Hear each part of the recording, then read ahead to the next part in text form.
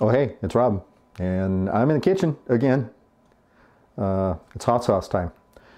The hot sauce is looking like the fermentation has slowed down considerably, if not stopped altogether. Uh, it's um, I did have an explosion or two where it blew the lid off of the fermentation container.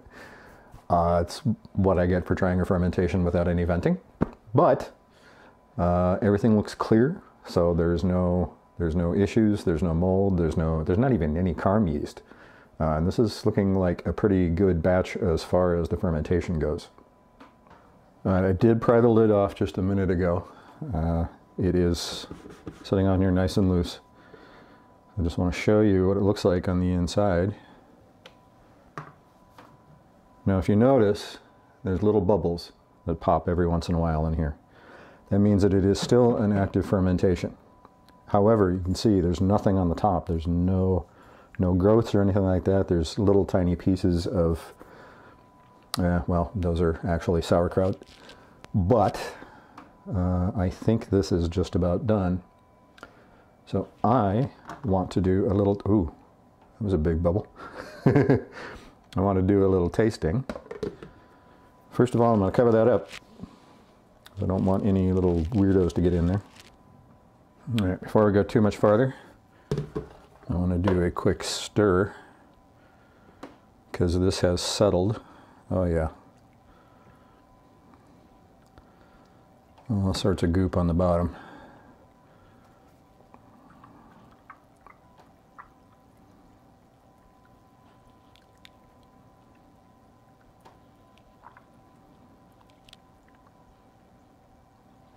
You can see the bubbles still forming. This is still an active ferment. It's going to have to wait a little bit longer, but I want to give it a little taste test now.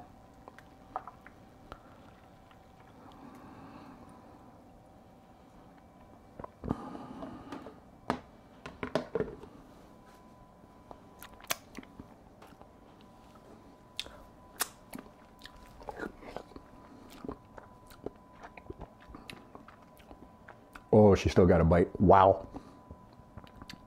But it is tamed.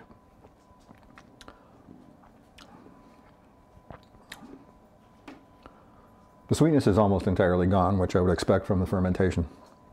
But there's a lot of flavor left behind.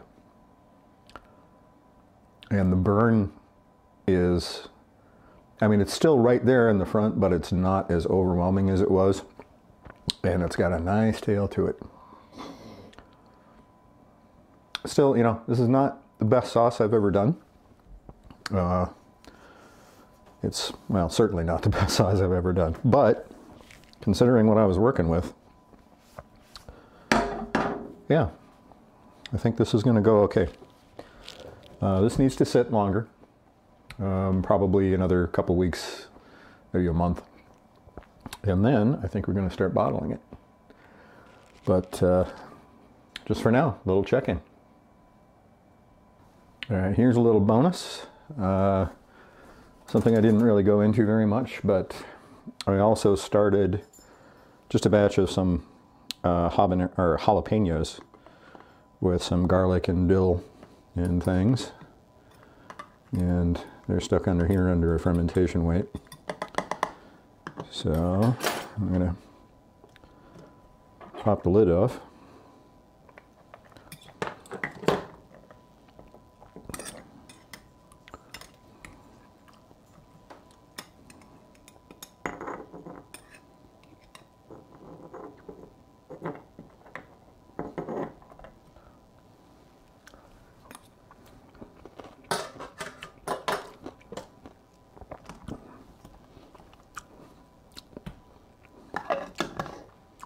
Those are still sweet.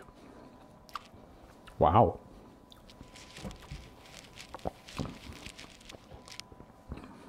Good, but still.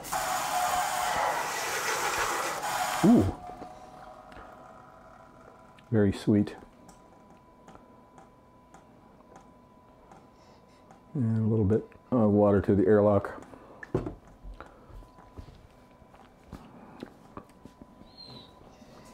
You know, I think those are pretty much done. Uh,